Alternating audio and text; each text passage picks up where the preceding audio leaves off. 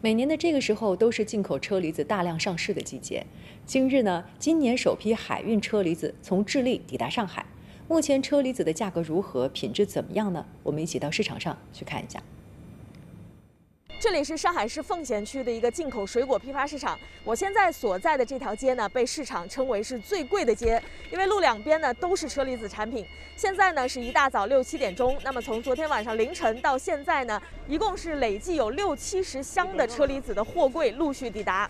据悉，这批海运车厘子总重超两千五百吨，共一百二十六个集装箱，由智利出发，经过二十三天的航行后抵达上海。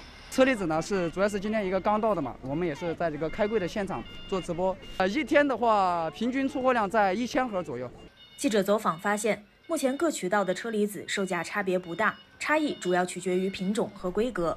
目前价格还是挺高的，呃，预计后面，因为这马上直接靠上海的第二船又到了，所以价格后面肯定会往下掉一点，三百五降到两百，就这十来天时间会有个大幅掉价。记者了解到，这批车厘子下午两点半抵达港口，凌晨就能运抵批发市场。今年海关对于车厘子入关采取提前申报汇总征税、不见面申领等一揽子措施，通关效率相比去年明显提速。